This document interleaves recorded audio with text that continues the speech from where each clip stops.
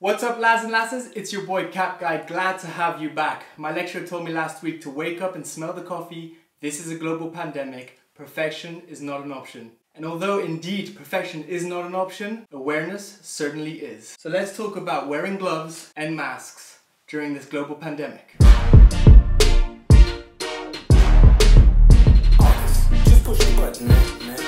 So many of you have heard on social media lately of healthcare professionals, doctors, nurses, or any other healthcare professionals telling you to stop wearing gloves, stop wearing your mask, because they probably do more harm than good. And so many of you may be confused. I hope this video is going to clarify as to why they're saying that. You see, the problem about wearing gloves or masks in public places, in the shops, in your car or whatnot, is not about wearing those masks or wearing those gloves, it's about using them incorrectly.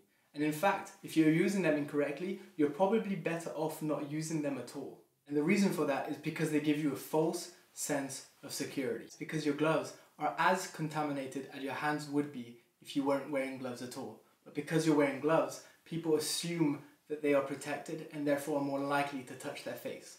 Unfortunately, this is not the case. Alright, so studies have shown that the virus circulates through air droplets and can spread through sneezing, coughing, speaking, breathing, any movement of air particles. And it enters your body through mucous membranes. Now, mucous membranes are just a fancy terminology to define the areas of your body that protect the inside of your body from the external environment. In a similar fashion to your skin protecting the external part of your body from the external environment. Examples of mucous membranes include the nose, the mouth, the ears, the nose, the mouth, your eyes, your ears, basically Anything that opens into your body and has contact with the external world, you can probably guess that it's lined with a mucous membrane. So you can probably guess that having the virus on your hands or on any part of your body that's not these surfaces that I've just described is not that dangerous. The danger is exposing those parts with your face and that's why healthcare professionals are telling you not to wear gloves or not to wear masks. Okay, so maybe you can relate to this. You put on your gloves, you put on your mask, you get into your car, you go to the shops. You take a cart, you're touching the cart. You enter the shop, you do your shopping, you're touching all the products. Every single uh, banana, melon, grabbing the avocado to make sure that they're not ripe. You're touching other people, you're touching your wallet or touching your phone because you've written all the products you need to buy on your phone or someone's giving you a phone call, putting it to your ear, putting it back into your pocket, grabbing some products here and there, putting it into your cart, putting it back into the aisle because you're not happy with that product or it's just not the right one. Or you're touching areas of the supermarket that other people have touched. And by doing so, you're actually doing what we call cross contamination, which means the transfer of a microorganism, a bacteria, a virus, from one substance to another. But because you're wearing gloves, you're immune to the virus. Unfortunately, that's not true. You see, that is the false sense of security.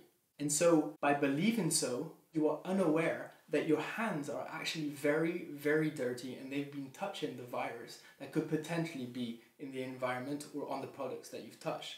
And so, because of this false sense of security, you are thinking less about touching your face. Unfortunately, that's dangerous.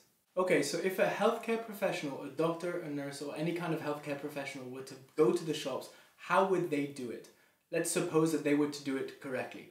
Well, first of all, they would put these gloves on, just before going into the shop. Once they get into the shop, they touch the bare minimum. Only the products that they need. They wouldn't touch their phones, they wouldn't touch their wallet, they wouldn't touch their keys with their gloves on. And the reason for that is because with the gloves, you have to pretend that you've just put your hands in mud and that in doing so you don't want to touch your face. Obviously, no one wants to touch their face when they've put their hand in mud. And once they're done with their business, they take off their gloves. And how you take your gloves off is actually very, very important. You don't just grab them by the fingers and then throw them on the ground and then, yeah, I did what I gotta do, I'm all good. No, you see, that's the dangerous part. And so let me show you how to take gloves off correctly. First of all, you take your left hand and you grab the right glove without touching the skin by the wrist. You invert the glove like so. Once you've done that, you grab that glove into the palm of your left hand. Again, it's very important to remember cross contamination. You don't want to touch anything that is potentially clean with something that is potentially unclean. And therefore, you slip your finger under this glove, the left glove, and invert the left glove into your hand. Having done this, I haven't touched any areas that are potentially unclean. Once done, you dispose of this in the proper receptacle and directly clean your hands with alcohol wipes or with water and soap. And that is how you take off your gloves correctly. Any other way could potentially be dangerous for your health and those around you. And please, while I'm at it, joggers, if you're gonna jog, that's your decision.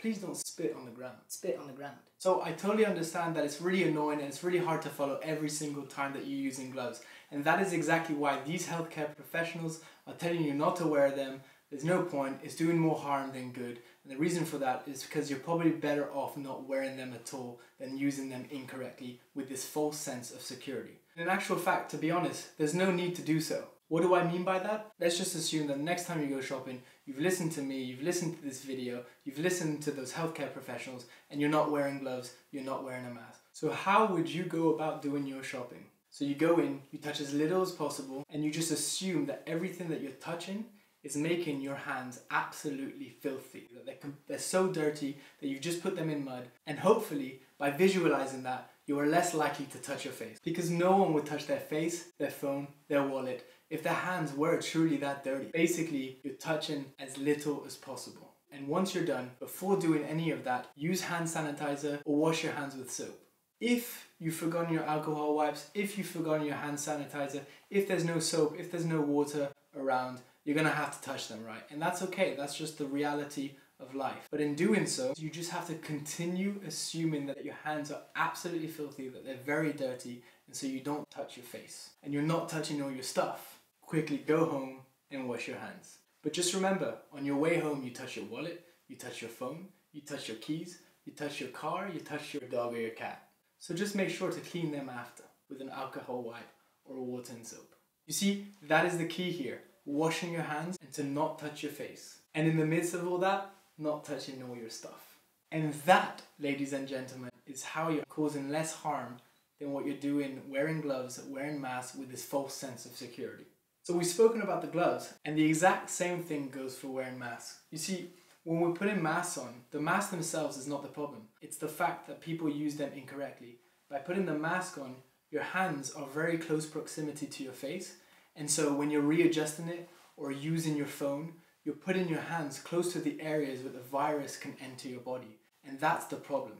Guys, these masks are porous. That means when you cough, the cough goes straight through it. It's not because you're wearing a mask that you shouldn't cover your cough in your elbow. In fact, to date, no studies have stated the benefits of wearing a mask, but for the purpose of this video, let's assume that they do. These benefits would only benefit you if you're using them correctly. So guys, just like my professor said, let's wake up, smell that coffee, and remind ourselves that this is a global pandemic. Although perfection is not an option, we can certainly be aware and get rid of this false sense of security. And if you must use these masks, if you must use these gloves, please use them correctly. And most importantly, stay safe, stay home. Alright guys, God bless. Alright guys, so I hope you enjoyed this short video about wearing masks and wearing gloves in public spaces. I'd like to thank Dr. Zubin Damania, aka ZDog MD, who inspired me to make this video about raising this kind of awareness. If you enjoyed this video, please like and subscribe to my YouTube channel. And if you think people could benefit from this message, please don't hesitate to share this video.